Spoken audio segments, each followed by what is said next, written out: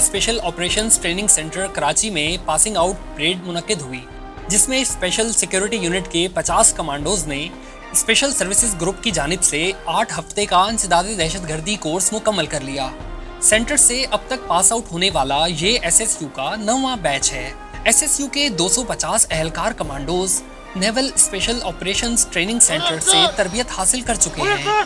Commandos को दौरान तरबियत self defence close quarter combat rappelling basic explosive और जदीद छोटे हथियारों के इस्तेमाल से मुतालिक स्पेशलाइज्ड ट्रेनिंग दी गई।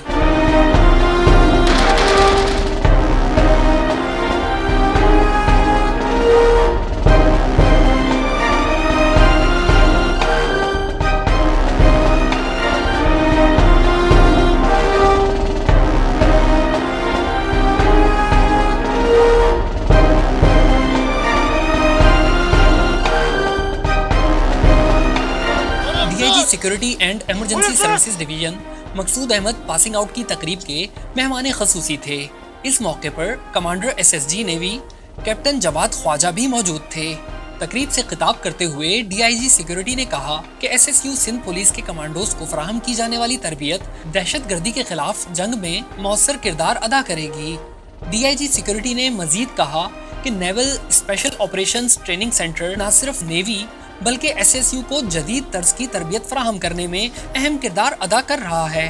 और एसएसयू के जवान इस सेंटर से तरबियत लेने के बाद अपनी सलाहियतों को इंसदाद दहशत गर्दी और जराइम के खात्मे के लिए इस्तेमाल कर रहे हैं।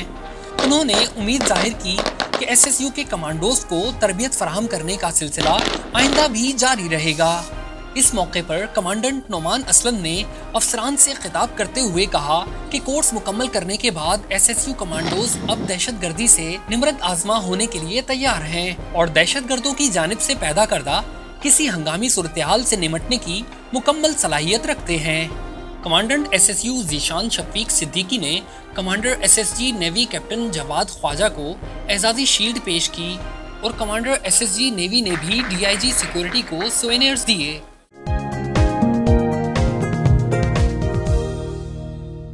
वॉइस ऑफ़ नेशन की वीडियोस देखने के लिए हमारा चैनल सब्सक्राइब कीजिए और बेल के आइकॉन पर क्लिक कीजिए, ताकि आप हमारी तमाम आने वाली वीडियो से बाखबर रह सकें।